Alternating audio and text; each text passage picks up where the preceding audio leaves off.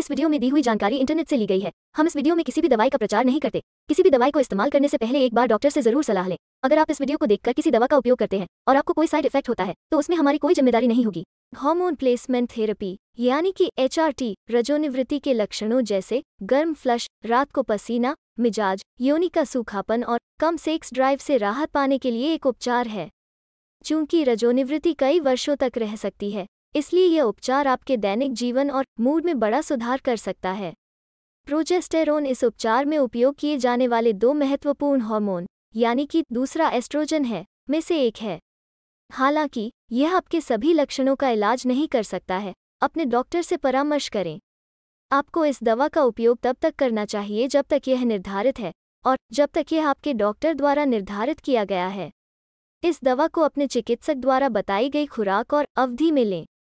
इसे पूरा निगल लें, इसे चबाएँ, कुचलें या तोड़े नहीं। Naturogest 200 milligram soft gelatin capsule को भोजन के साथ लेना बेहतर होता है। Naturogest 200 milligram soft gelatin capsule एक प्रोजेस्टेरोन, यानी कि फीमेल हार्मोन, है। यह गर्भावस्था को स्थापित करने और बनाए रखने में मदद करता है। यह एस्ट्रोजन के कारण होने वाले एंडोमेट्रियम, यानी कि गर्भाशय की परत, की मोटाई में वृद्धि को भी रोकता है।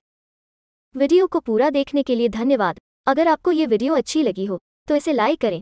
अगर आपने अभी तक हमारे चैनल को सब्सक्राइब नहीं किया है तो चैनल को सब्सक्राइब करके नोटिफिकेशन बेल को टर्न ऑन ऑल नोटिफिकेशन पर सेट करें। धन्यवाद।